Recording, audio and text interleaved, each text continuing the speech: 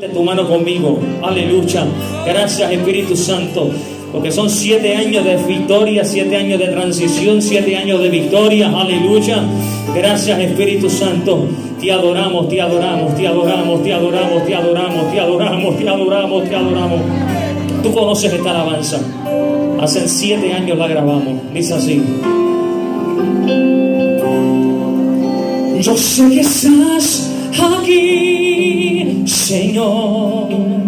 Mm, Te siento en mi alabanza. Manos arriba. Yo sé que estás aquí, Señor. Llenando hoy mi alma. Llenando hoy mi alma. Conmigo. Yo sé que estás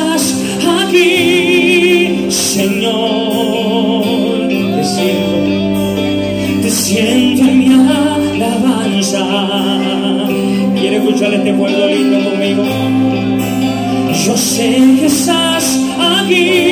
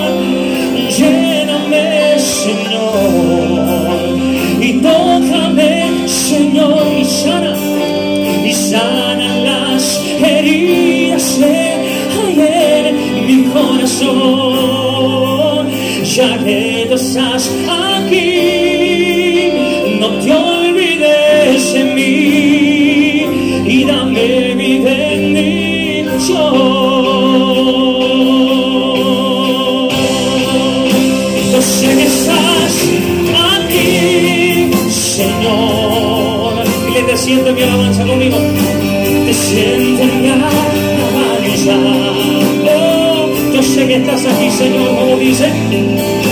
Yo sé que estás aquí, Señor, llenando hoy mi alma, como dice, llenando hoy mi alma. Yo sé que estás aquí, Señor. Yo sé que estás aquí,